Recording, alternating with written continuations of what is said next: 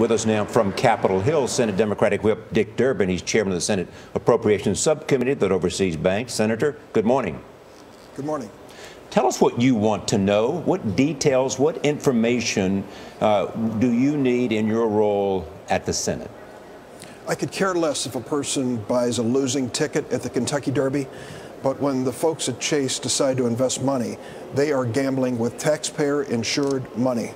And what it boils down to is when $2 billion are lost, it just isn't a loss for the stockholders or the investors.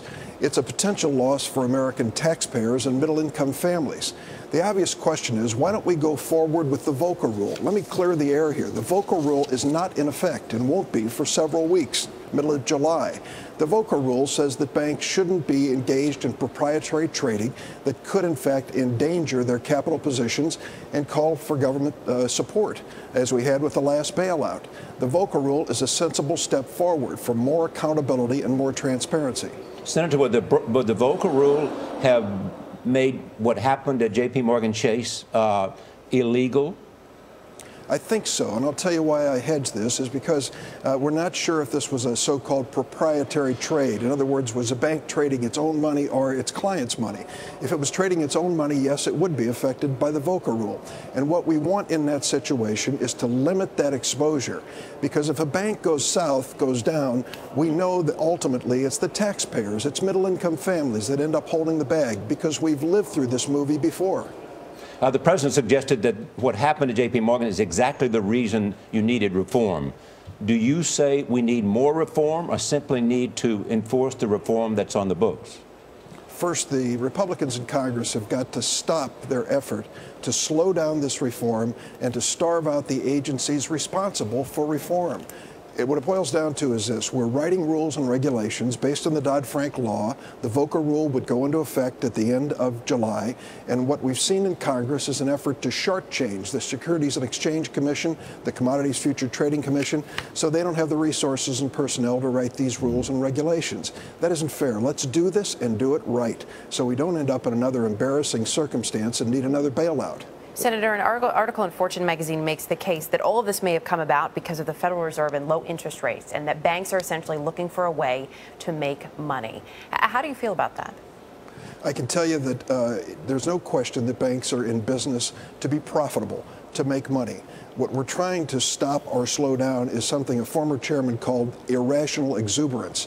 When they're betting $100 billion on credit default swaps, as this whale figure did with Chase. There were others betting against him. They won, he lost. So the question is is there a profit? Is there an unreasonable level of profit taking that creates too much risk? That's what good managers have to decide every day. Senator, are you convinced? Are you convinced? Do you have enough information to believe that what happened at J.P. Morgan would, is a violation of the Volcker rule? That this was in fact proprietary trading? It seems like something that Jamie Dimon said led us to that conclusion, but in all fairness, let's get all the facts out. The regulators are looking at them carefully. Let's find out exactly what occurred, what money was being at risk, what money was being invested in this trade. And, and also, how much of the money that was uh, that they have lost uh, in comparison to the size of this institution, uh, is there any evidence that this kind of loss threatened this institution at all?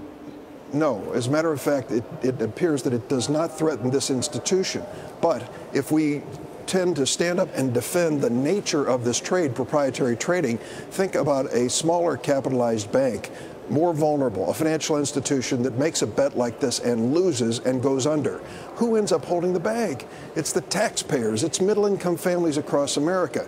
It isn't just the swashbuckling investors of Wall Street. We end up as a nation and a government holding the bag. We don't want to go through that again. Is there some irony in the fact that the President Obama is talking about banking reform at the same time he's in New York trying to get bankers to give money to his reelection effort?